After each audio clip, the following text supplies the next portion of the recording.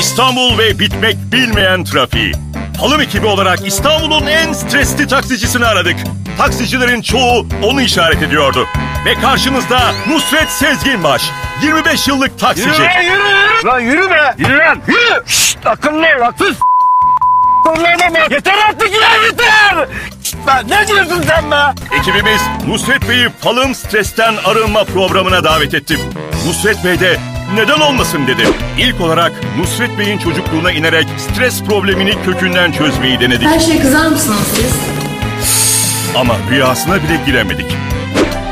Ruhları arındıran spiritüel Hindu öğretisi yogayı kullanarak Nusret Bey'in stresini kontrol altına alalım dedik. Galiba biraz zor hareketler seçtik. Stresi yine bitiremedik.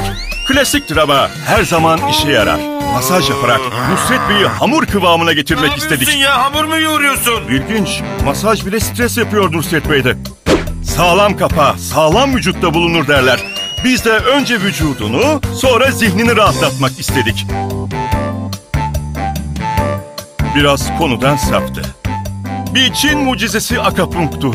Acılı ama mutlaka etkili. Galiba bu Çin işi Nusret Bey'e iyi gelmedi. Acı stresi tetikledi. 21. yüzyılın harikası aqua hidrovibrasyon. Şimdi Nusret Bey'in stresli hücrelerini dehidrasyon yoluyla vücudundan atıyoruz.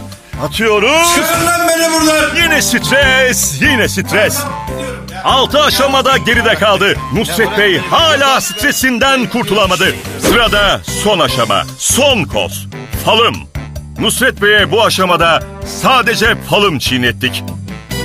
Ve karşınızda İstanbul'un en stressiz taksicisi Nusret Sezginbaş. Tek derdimiz trafik olsun. 5 dakika geçsek ne olur? Buyurun yol sizin. Şimdi bunun gibi birçok falım stressiz taksi yollarda. Şanslıysanız siz de o taksilerden birine denk gelebilirsiniz. Siz de falım stressiz taksilerde bir falım çiğneyin. Stresinize en kestirme yoldan veda edin. Her gün bir falım. Stressiz başım.